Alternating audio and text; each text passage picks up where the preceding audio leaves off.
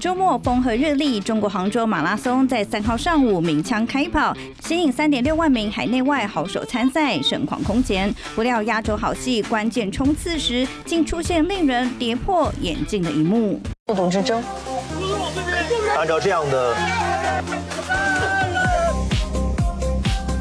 哇，一个小插曲。还原过程再看一次。原本白色上衣的伊索比亚选手位居领先，但紧要关头时竟出现法家湾鬼切，工作人员疑似指引错误，两人赶紧掉头。但肯亚选手已经先一步逆转，伊索比亚选手最终错失冠军，只差了六秒。不仅奖杯飞了，原本约合新台币一百七十二万的奖金，也短少成亚军的七十六万，少拿了将近百万。如果不是刚才那个小插曲。有可能还会是还会再快一点点。一个小插曲，换言之，根本是低级失误，连中国网友看了也摇头，直呼是故意的吗？批评弯道的设计真的太瞎，简直是一场混乱。你是最棒的！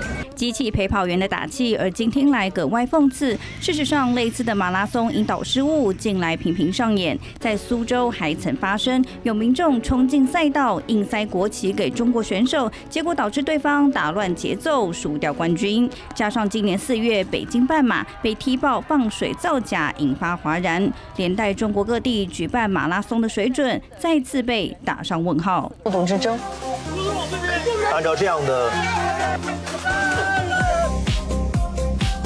哇，一个小插曲。三立新闻金选会报道。